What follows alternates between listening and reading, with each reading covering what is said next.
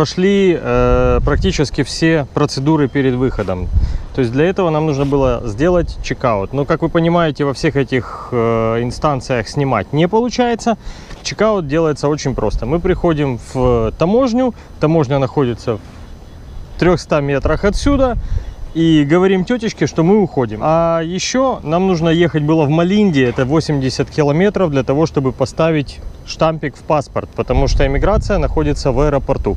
Но так как сегодня пятница, и мы его попросили сюда приехать, он ездит каждый день в Момбасу, взял паспорт, и так вот его открыл, и прямо на торпеде в машине такой и все. Вот так вот мы прошли иммиграцию, а в таможне выдают вот такую бумажку, и с этой бумажкой мы идем дальше на Сокотру. Мы уже перешли э, под мостом. Я не показывал, как это все проходит, потому что вдвоем это было и так достаточно сложно. Но не остросюжетно, да. Вот там завтра нас ждут, нас ждут вот там открытое море и 1200 или 1400 миль на Сокотру прямоходом. Ну вот мы и вышли из Килифи. Нас ждет 1400 миль. И я надеюсь, что мы без всяких приключений дойдем на остров Сокотра. Но выйти у нас без приключений не получилось, потому что мы подняли чью-то цепь, и часа 4 мы занимались тем, что мы снимали эту цепь с нашего якоря. Но это все фигня на самом деле. Давайте я вам покажу, как мы идем. То есть вот у нас ветер 100 какой 100? 106. Вот. Ну и скорость под десяточку. Паруса. На рифе полный стаксель. У-ху!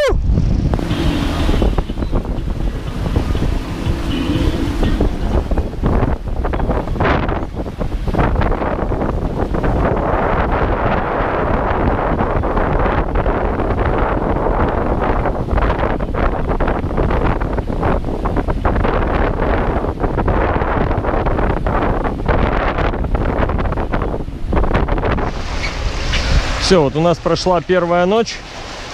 На за ночь так немножечко потрепало, потому что э, достаточно сильно раздуло. И мы зарифованные идем. У нас идет последний риф на основном парусе, э, на гроте. И последний риф на стакселе. Но сейчас мы будем разрифовываться, потому что с восходом солнца все стало тихо и спокойно. Ну вот нас, э, вот первая ночь, которую мы проспали, можно так сказать, потому что спится здесь по 20 минут, а потом проверяется все, что произошло. А так как ночью дуло очень сильно, и мы шли 12 узлов, то было, собственно, не до сна. Э, мы шли на последних рифах, на зарифованном э, на вторую планку гроте и до, на последнюю точечку стакселя. И даже сейчас при полном рифе, при том, что ветер упал, мы идем 8,5 узлов. А, мы уже отошли от э, берегов Африки на 60 миль, и я думаю, что когда мы подойдем к Сомали, мы уже будем где-то на сотне. А... О, у нас есть наши друзья.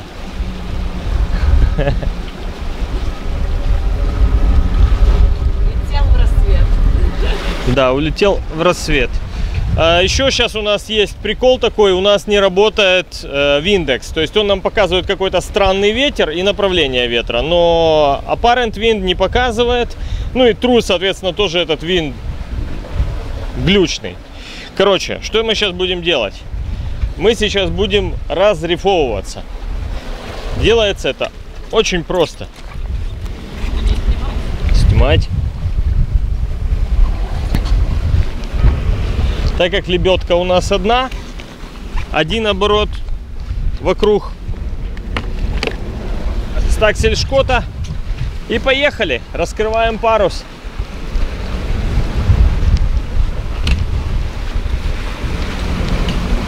Все, полностью разрифованный. Теперь все это обязательно в бухту. У нас утренний обзор палубы и всего такелажа. О, караси! Летающая рыба есть одна. Идем дальше.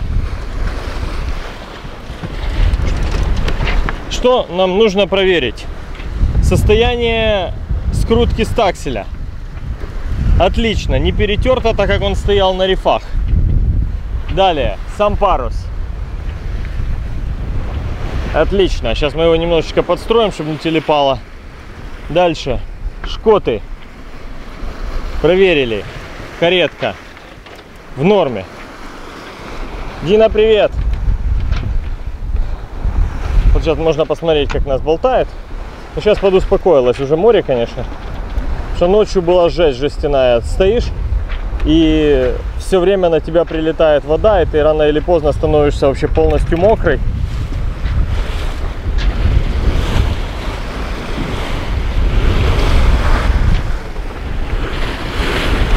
Пейзажи традиционные, море и небо.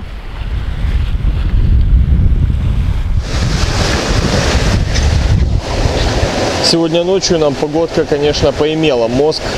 Э, это было еще связано с тем, что вчера был очень красивый закат, и вокруг Луны э, на фоне закатного неба было большое гало. Гало это такой круг, который говорит о ну, наверное, если это вокруг Солнца, то об ухудшении погоды, ну, здесь как бы хуже некуда, потому что мы идем на хвосте шторма, поэтому на самом деле Гало говорит только о большой влажности воздуха.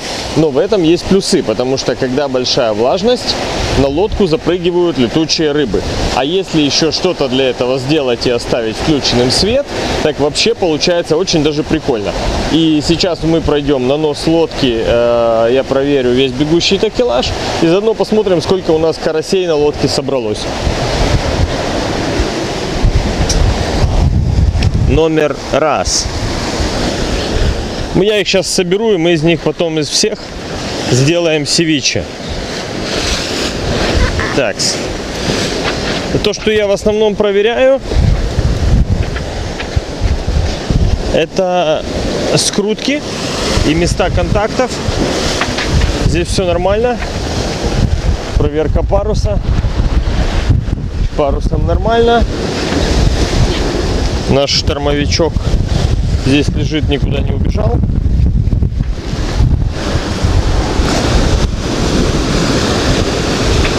Вот так вот нас болтает.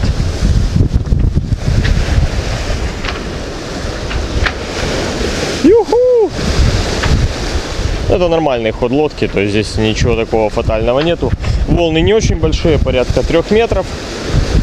И направление волн хороших, мы хотя бы не ездим под большими углами. То есть, если оно сейчас дует просто сзади, ну, волны идут сзади, поэтому нормально. Сейчас рассветное время. Так, ладно, погнали, это все мелочи. А, шкот. Шкот целый. Каретка. Каретка на месте, ничего не вырвано, никакие пины нигде не валяются. Ничего, идем дальше. О, огромный, огромный карась. Его мы есть не будем. Вот еще двое красавчиков. Вот один валяется, и вот валяется второй. Так, ну это еще не все. Здесь у нас в кокпите всю ночь рыбы лупились. И вот наш сегодняшний улов. Вот сейчас я это все достану. И вон еще одна рыба. На завтрак у нас будет вкусная севиче. Я сейчас это все порежу и покажу, как я это делаю. У нас сегодня на завтрак, вернее даже это не завтрак, а такой легкий перекус, будут летающие рыбы. Вот такая вот она со спинки и вот такая вот она с брюшка. А режется и чистится она очень просто. Важно взять и под плавник по диагонали. Раз, отрезали по диагонали. Раз, отрезали и все. Голову можно кишками выкинуть сразу одним куском. Вот она так очень легко разделывается. Единственное, что, конечно, то, что они маленькие, с ними надо повозиться. Вот. Мы берем и отделяем филешку. Это очень простая процедура.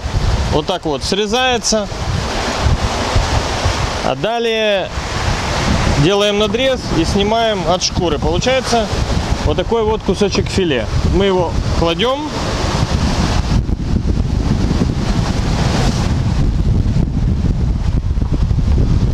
Э -э -э! Не болтай лодку. Так, и делаем вот всю эту же процедуру, только со всеми вот этими рыбками. Ай! Вот, качка. Вот со всей этой большущей горы рыбы получилась вот такая вот маленькая тарелочка филе. Дальше мы из этого будем делать севиче. То есть мы берем лимон, выливаем его вот сюда. Берем второй лимон.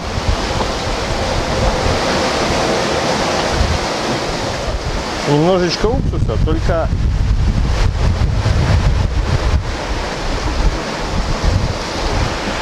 Вот, все, получилось. Теперь оставляем это в холодильнике где-то так минут на 10, а потом будем кушать. У летучей рыбы мясо немножко жестковатое. Ну, не то чтобы жесткое, но чувствую, что ты что-то жуешь. Оно не такое, чтобы разваливается, когда его кусаешь. А лимон и уксус всегда делают свое дело. Очень вкусная рыба, особенно когда она сама запрыгивает к тебе на борт и ничего при этом делать не надо. Приятного аппетита! А так как у нас уже 6.30 и мы находимся все-таки на экваторе и начинает теплеть, поэтому смена одежды на дневную и утренний кофе. Так как мы находимся на берегах, возле берегов Сомали, то здесь нужно быть очень внимательным и постоянно наблюдать за тем, что происходит вокруг. Мы хоть и пользуемся сервисом Аталанта, а, про, нем я расскажу, про него я расскажу немножечко попозже, но тем не менее здесь нужно держать ухо востро. А сейчас у нас э, 16.20, то есть прошли ровно сутки с того момента, как мы вышли из Килифи, и мы прошли ровно 200 километров, э, миль, извините. Э, что это значит? Средняя скорость 8. Летим. Так вот, это еще не все. А, так как а, мы находимся сейчас возле берегов Сомали и пытаемся от них отойти подальше, то а, мы идем относительно ветра по прогнозу. Он дует к нам взад, но мы идем, он дует к нам вперед, потому что мы компенсируем прибрежное африканское течение. И чтобы мы шли туда, нам нужно идти сюда, и ветер дует отсюда. Поэтому мы идем такое, не в половину ветра, как я рассчитывал, а немножечко острее, но это не проблема. Ну, то-то я смотрю. Не, ну это нормально. На самом деле еще где-то миль э, 30. И мы поворачиваем уже, чтобы мы не шли вдоль берегов, и это было безопасно. Ну вот, в принципе, такая история. А, что еще хотел сказать? Что сегодня мы не готовим, а едим сникерсы и яблоки. Потому что внутри находиться мы еще не привыкли, и уже каждый по разу проблевался. Заходишь внутрь, вот это новости. Ну, песни слов не выкинешь. Селяви. Доброе утро, друзья. Вот очередной у нас день, очередное утро. А, погода у нас сейчас немножечко стихает, но всю ночь очень сильно напрягали волны. Но так как нам уже сегодня стало значительно легче, у нас получилось уже нормально выспаться. Э, но почему нужно было выбрать именно для себя такой отдых. Почему нельзя было назвать себя там, не знаю, инстаграм моделью из серии голожопые философы, постил бы себе спокойно свою волосатую задницу, подписывал бы ее каким-нибудь там, не знаю, мир для крутых людей, а крутых людей делает только море и такое подобное. А еще лучше цитаты поумневших актеров, например, Стэтхема. Но так как мы в море, можно придумать, например, Джимми Корнелла. Хотя нет, не Джимми Корнелла, а лучше того, кто, кого все знают, Кусто. И что-нибудь из серии там, не пердей в Непроме, не знаю. Яхтсмены, я думаю, сами оценят эту шутку, но не будем об этом.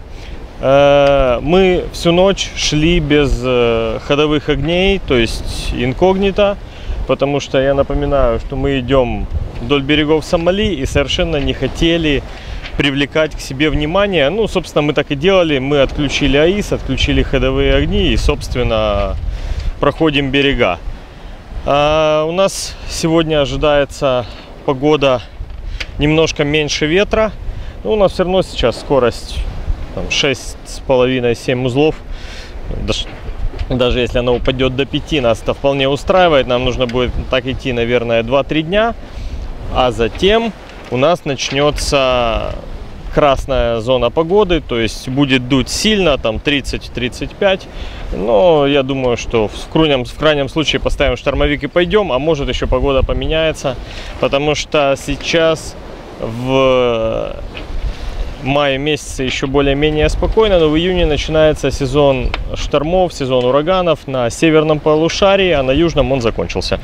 Э, вот. А теперь мы идем к приборам, я вам покажу, где мы идем, как мы идем и куда мы уже дошли. А еще, друзья, давайте я вам немножечко расскажу о том, как ходить э, в этой акватории. Дело в том, что у побережья Африки есть течение. Течение очень сильное. От 4 до 5 узлов. И, соответственно, это вносит свои коррективы. С одной стороны, это прикольно, но с другой стороны, если направление ветра идет с юга, а ваша лодка идет вот так, то совершенно будет не такое направление. Если идет берег, берег Африки под углом, и вам лодке нужно идти вот под таким углом, вы рассчитываете, что угол к ветру будет порядка 160 градусов. Так вот, при течении 4 узла вы делаете компенсацию, и у вас лодка идет практически 90 градусный курс. При этом ветер вымпельный, он сползает спереди. Поэтому вместо ваших 160 вы получаете 75. То есть в нашем случае нам повезло, ветер был слабый, порядка 10 узлов. Поэтому вымпельный 75 нас устраивал отлично, потому как мы получали увеличение ветра а не уменьшение. Но если бы был сильный ветер на овердозе, наверное, это была бы проблема, потому что мы бы получили еще увеличение ветра, и всегда при сильных ветрах идти встречными курсами, это всегда плохо. И плюс на протяжении всей береговой линии ветра меняются от штормового паруса, когда мы выходили, нам дуло, ого-го, и заканчивая мы уже поменяли Код Zero мы уже поменяли Гинакер. И уже все паруса стандартные, от полных до последней планочки рифа мы уже использовали. И это такое мероприятие, когда нужно постоянно, постоянно этим заниматься. Честно говоря, среди ночи это напрягает. Плюс еще и смена галса с левого на правый, но это у нас сейчас еще произойдет, я вам буду дальше показывать. Вот у нас сейчас ветер дует 72, а мы идем бэдвиндом. 6,7 наша скорость. Ну, а ветер, силу ветра он вообще неправильно показывает. То есть мы берем ее 10,5, наверное, там приблизительно 15 узлов. И э, вот мы находимся, сейчас я вам покажу общую карту. Короче, нам идти еще далеко, но мы прошли где-то 15%. Нам осталось идти 1046 миль. То есть за ночь мы прошли 100 миль. То есть, на мой взгляд, идем очень неплохо. А теперь давайте я вам покажу, какая у нас погода.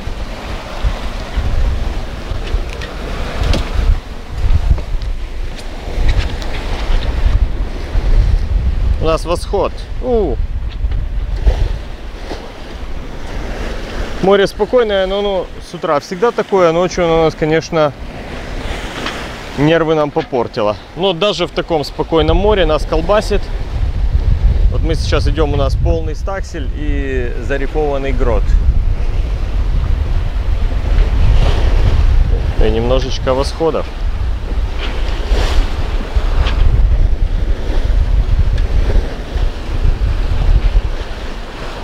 Как вы уже знаете, каждый день мы отправляем свое местоположение по Yellow Brick. То есть мы его отправляем Заходим в программу Yellow Brick. И вот у нас здесь есть сообщение, которое мы отправляем в Аталанту. Говорим им reply и отправляем текущую координату. Все, и они знают о том, что происходит у нас каждый день. Военный самолет вокруг нас летит.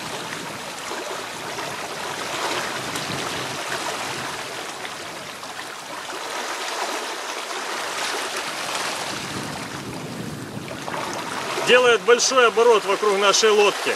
Диночка, вокруг нас летает самолет. Это Аталанта. Они проверяют. Этот говорил, как его, э, Ахим. Да. Мне кажется, он сейчас улетит уже. Ну, да. возможно, он круг дал, посмотрел, что свои.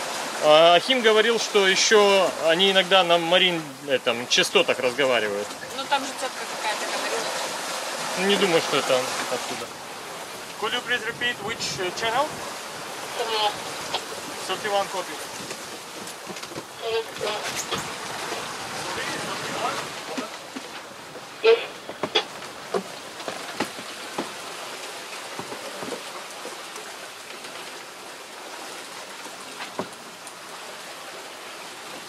me, I cannot check, uh, choose a 31. I don't care the frequency. I care 28 only. Alright.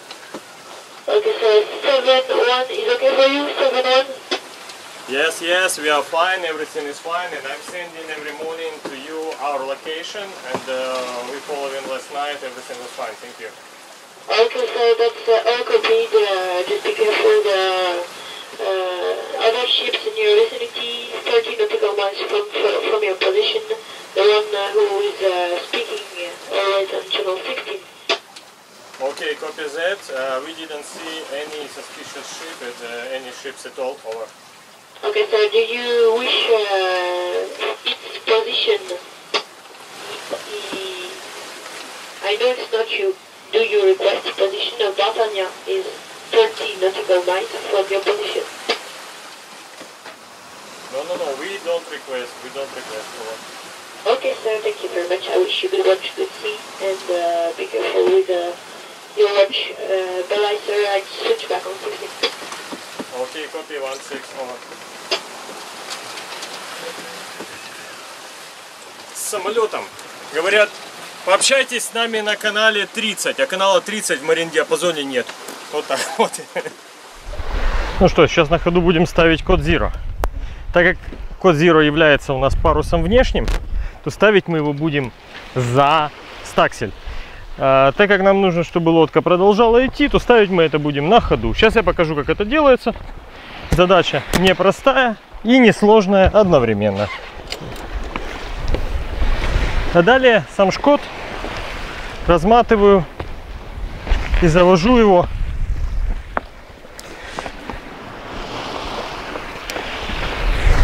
снаружи. Снаружи всего. И снаружи вант, и снаружи стакселя, который открыт. Мы открываем код Zero, а потом себе спокойненько сворачиваем стаксель.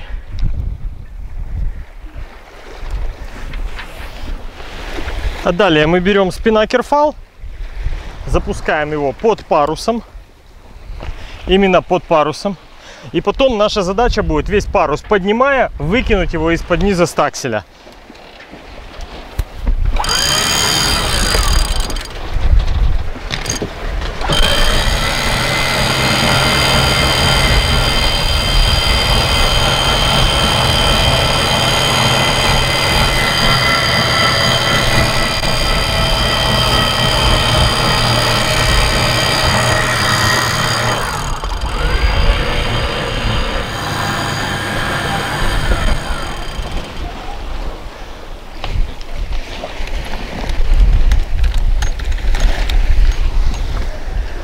Вуаля, парус стоит.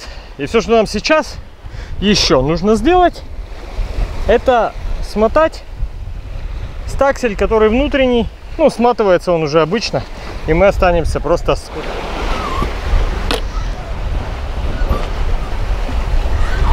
Вот так выглядит у нас код Zero.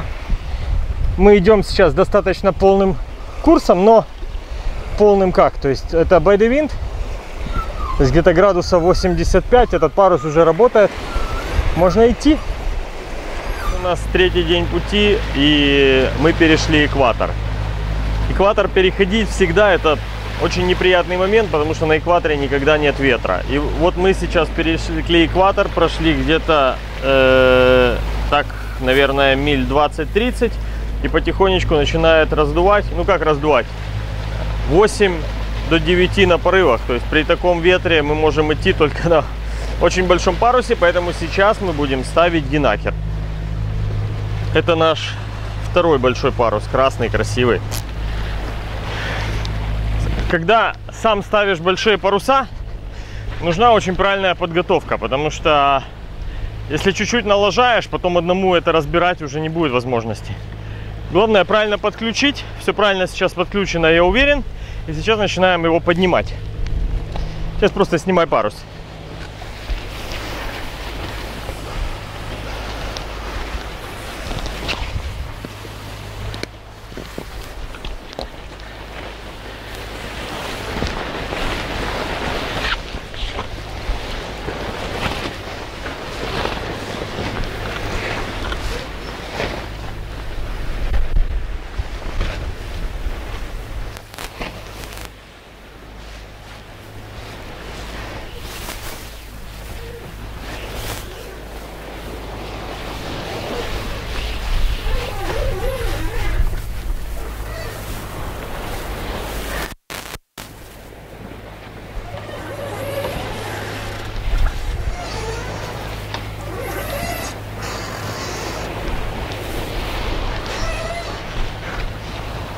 Оля!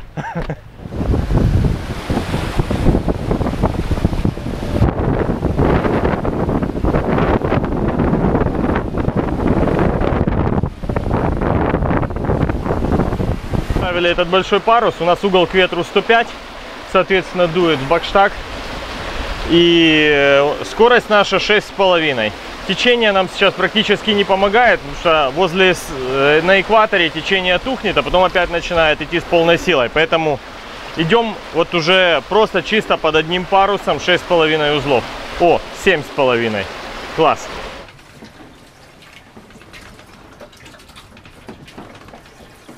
Все нестабильно в этом мире. Только геропалка стабильна в этом мире. Геропалка стабильная. Ну ничего, мы привычные, нас этим не испугать.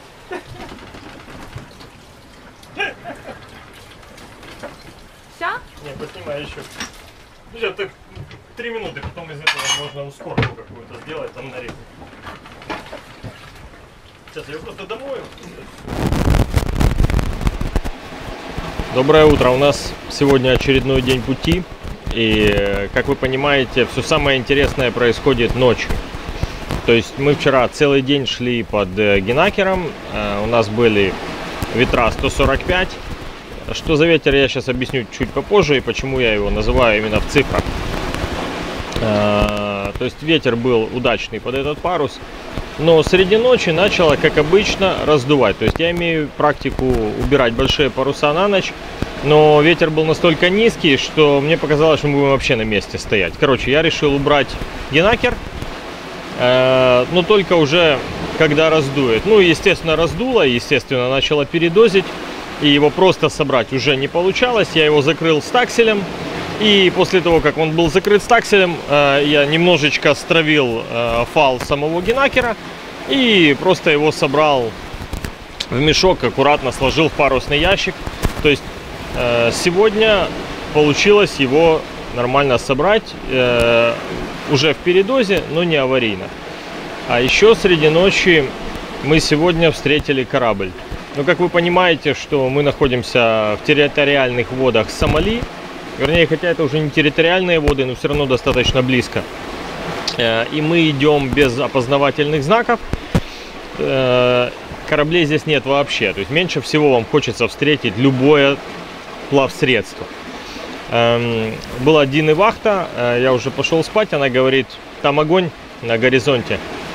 Я смотрю, и огонь пересекает наш курс красным огоньком, то есть, соответственно, он идет к нам левым бортом. Но он нас не видит, потому что на ИСе мы невидимки. Ну и, соответственно, на, ну, может, на радаре, но пластиковой лодки, если нету отражателя, мы отражатель убрали. Очень плохо появляется на радаре, поэтому, ну и без света. Вот, мы э, отвернули, начали уходить. Э, и когда мы подошли ближе, я увидел, что это карго-корабль. Я включил ходовые огни. Я думаю, что капитан, наверное, тоже слегка подофигел. Поэтому я прошу у него прощения, если он меня слушает, за то, что э, он перепугался, потому что я думаю, что кирпичи отложили оба. но такие условия, к сожалению, по-другому мы себя вести не можем, потому что нам просто тупо страшно. Вот. Теперь несколько слов а, касательно того, почему я называю ветер в цифрах.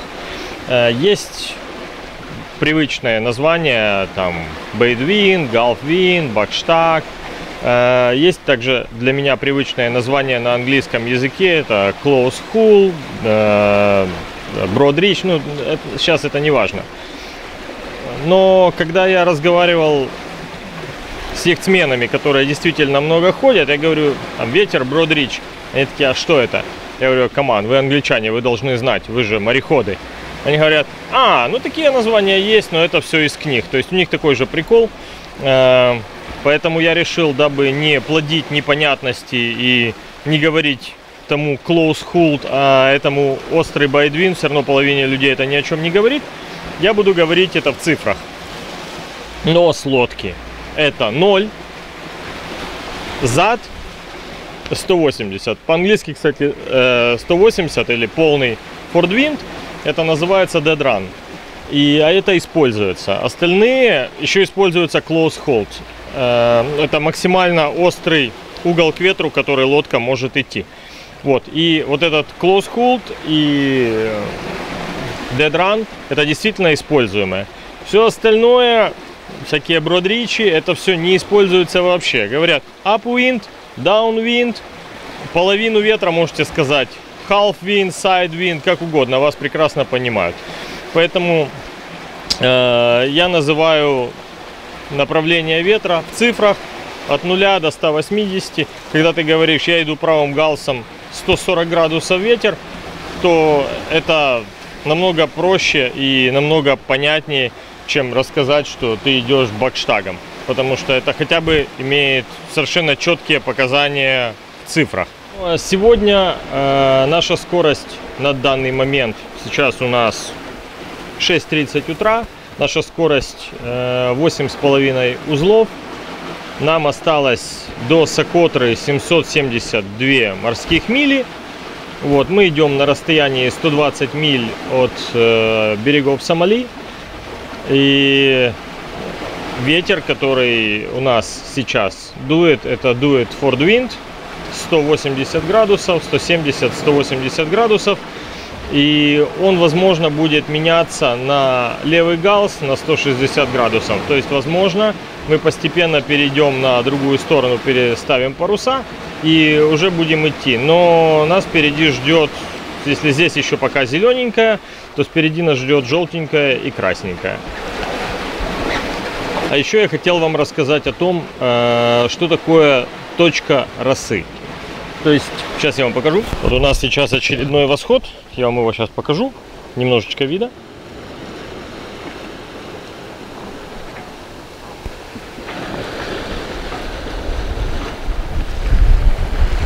С моря подуспокоилось по сравнению с ночи. Вот. Что такое точка росы? Все мокрое. Как вы видите, палуба мокрая. Обычно это только на рассвете. Но нет, у нас это у нас это все время. То есть точка росы, которая никуда не уходит. Ну и, естественно, все мокрое. Вот видно, это соль. Короче, вся лодка в воде. Если есть надежды, что вы будете сидеть задом на какой-то сухой поверхности, то нет. Поэтому мы ходим в непромах, потому что когда садишься в любых штанах, то все становится абсолютно мокрым. Так, вот если вы обратите внимание, мы сейчас идем только под одним стакселем. Это связано с тем, что мы идем dead run, то есть или downwind, или forward то есть ветер дует нам 180 градусов. Но если бы э, вместе с ветром шли и волны, сейчас я вам задержу, покажу немножко ближе.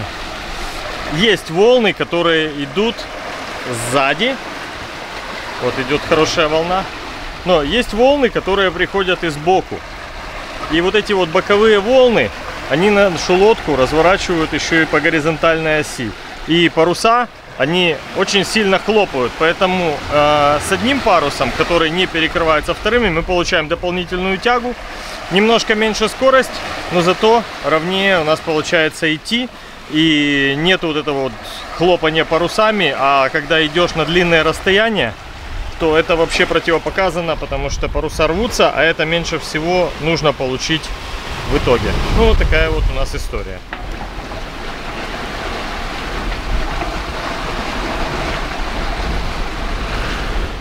Если мы уже сегодня начали с вами обсуждать англоязычные термины, давайте я вам еще расскажу немножечко про название парусов и почему я за английскую терминологию.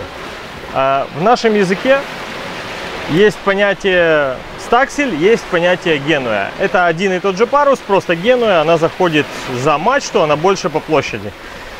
В английском языке это не так. Есть генуя, есть джип.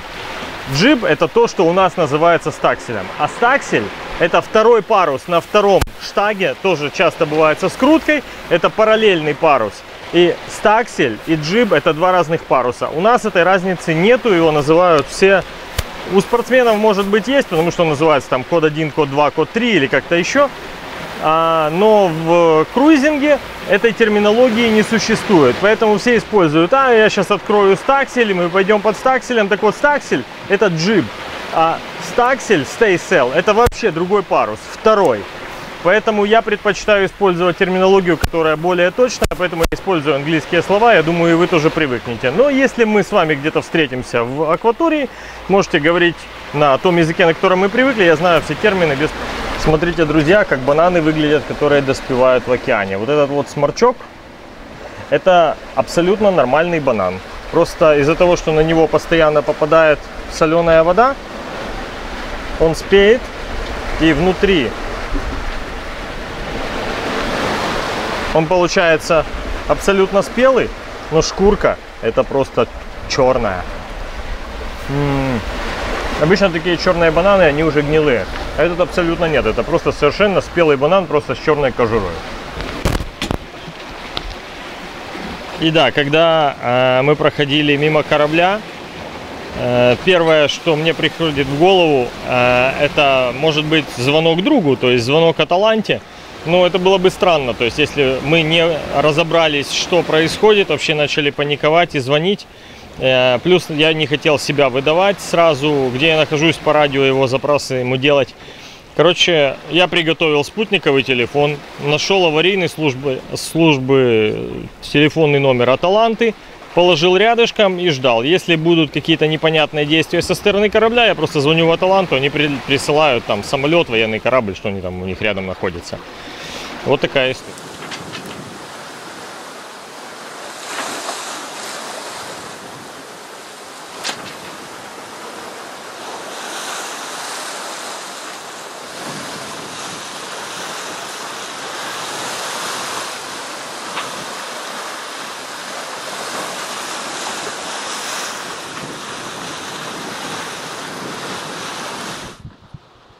Привет, друзья! А мы продолжаем наши студийные хроники. И что у нас произошло за ночь? Немножечко было пожестче ночью, но ничего фатального не произошло. Мы шли также под открытым стакселем. А, но только что мы встретили корабль, который назывался Northern Power, и они нас предупредили, что типа впереди нас ждет достаточно жесткая погода, но мы знаем, потому что мы выкачали прогноз погоды, но в любом случае она нас застанет. Тут вопрос просто, насколько сильно нас будет трепать. Вот я сейчас покажу.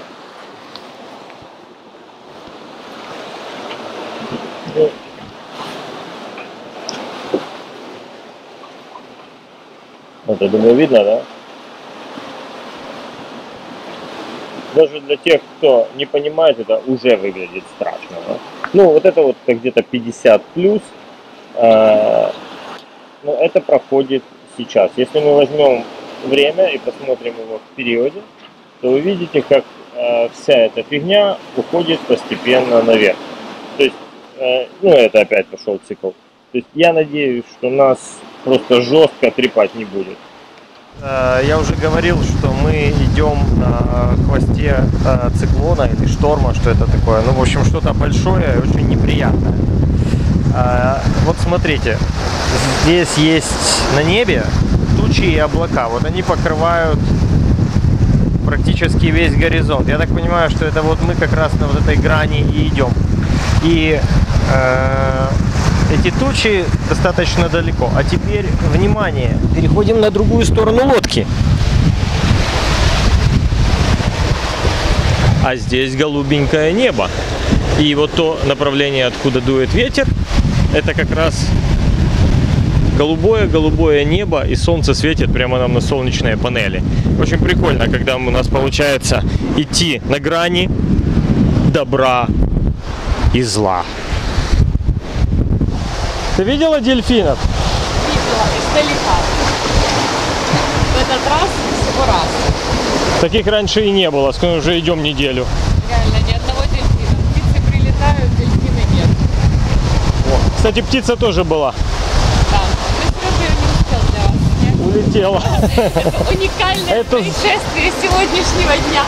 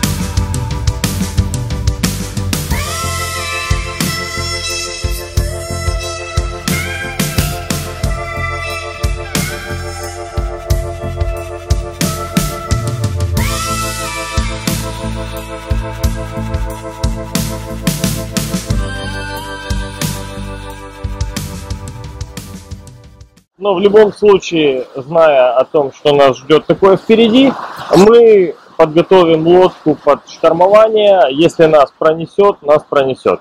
Будет более 4 метров волн и ветер 30-35 узлов, я думаю, на э, гаст, господи, как это, на порывах. Вот. э, Что я буду делать? Я поставлю штормовой парус, мы еще раз перезакрепим тузики и все перемотаем крепко. Ну, естественно, мы вам будем это показывать. Итак, у нас прошел очередной день. Э, Нам осталось 425 миль до Сокотры. Э, Сейчас у нас условия, которые ну, не самые приятные для яхтинга, потому что раздуло большие волны, а в Индийском океане напрямую связано то, насколько сильно дует, с тем, насколько высокие волны. Причем идет большая туча, под тучей волны, туча прошла, сразу тихо. То есть это как недостаток, так и преимущество.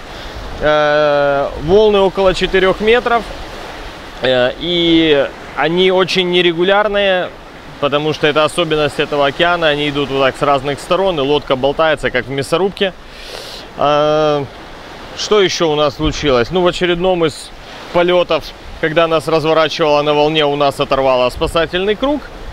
И порвался Lazy Jack. Ну вот сейчас я вам их покажу. Спасательный круг у нас сейчас просто валяется снизу. Я его не закреплял, потому что про это произошло ночью. А у Lazy Jack у нас оборвался. Это выглядит вот так. То есть я его просто собрал. У нас э, сейчас этот парус все равно не используется, потому что э, он очень ограничивает диапазон использования. Мы идем на третьем рифе. Это у нас стаксель полностью зарифован, э, потому что дует около 35 узлов. Но еще чуть-чуть и мы будем открывать штормовой. Но при вот даже вот этой вот маленькой открытой сопле Сейчас я вам покажу, какая у нас скорость. 7,4. А море традиционно, вернее, Индийский океан выглядит вот так. Я его немножечко покажу.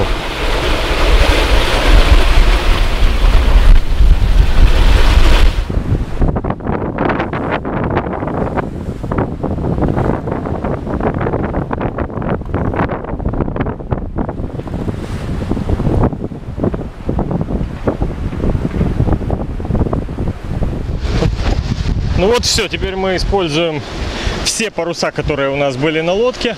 Вот у нас штормовой стаксель стоит, э, дует 35 плюс.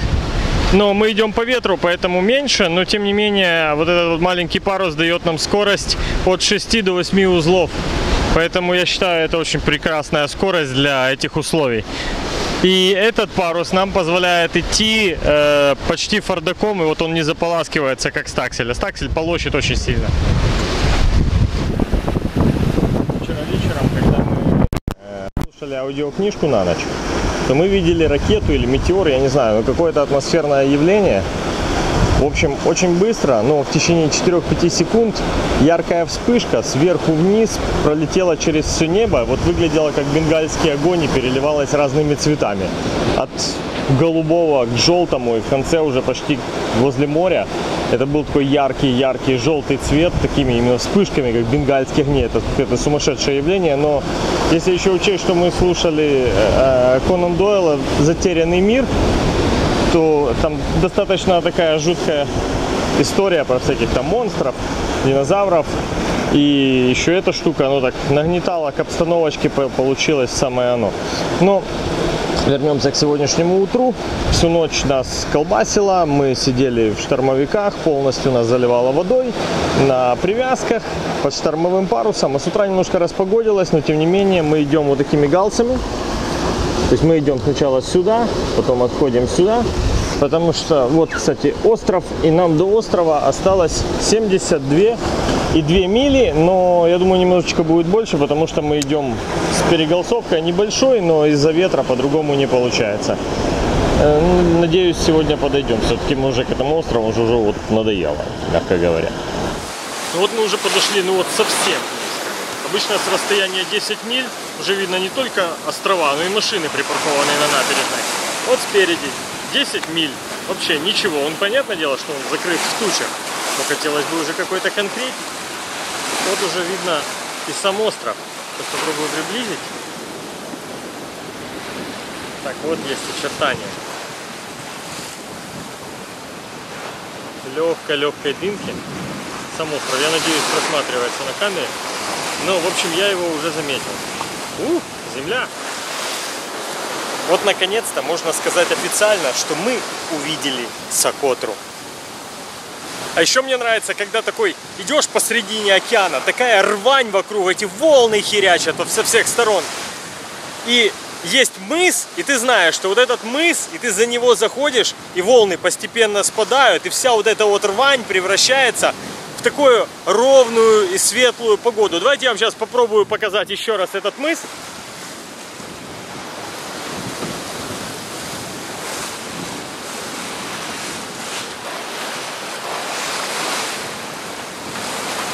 Он сейчас еще очень далеко, поэтому его не видно. Но я, когда подойдем поближе, я покажу. Но вот для меня его уже видно. Поэтому я знаю, что за ним будет тишина. И я этого очень жду является самая восточная часть острова. Нам отсюда нужно будет держаться чуть-чуть дальше, чтобы мы обошли это безопасно. Я думаю, что расстояние 3-4 мили будет нормально, но если нет, я отверну и обойду большим радиусом. А так посмотрим, потому что я хочу сделать, ну, если здесь это край, а здесь шкала 5 морских миль, то где-то одну милю это опасно, но мы подходить не будем, мы просто повернем. Сейчас уже хорошо видно остров.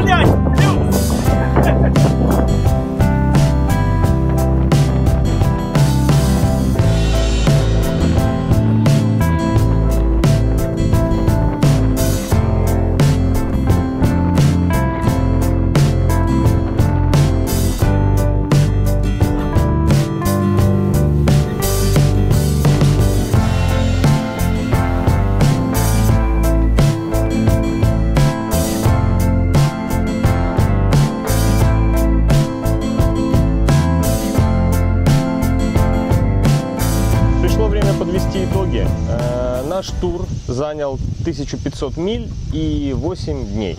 Наша средняя скорость составила 7,6 узлов. 4 дня из этих 8 мы провели в погоде, которая была хорошая. 4, э, которая была не очень. То, как мы заходили сюда, вы уже видели. Это, собственно, та погода, в которой мы шли, просто на попутном ветре. И дальше, дальше будем проходить таможенный контроль. Как это делается, не знаю ничего, потому что по радио никто не отвечает. Стоим в какой-то пустыне. Вот, собственно, как мы стоим.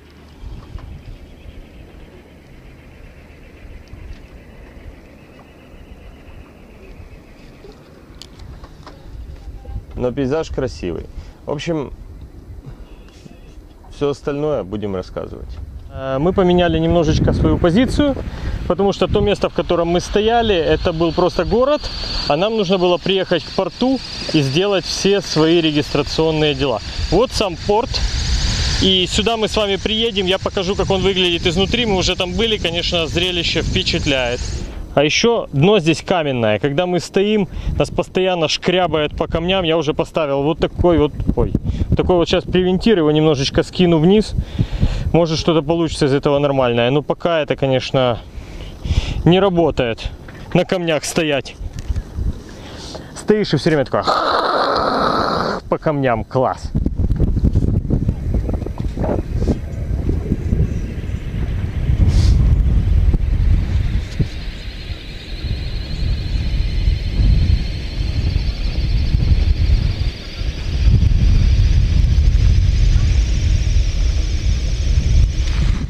Вот, друзья, и закончился наш переход из Кении на Сокотру.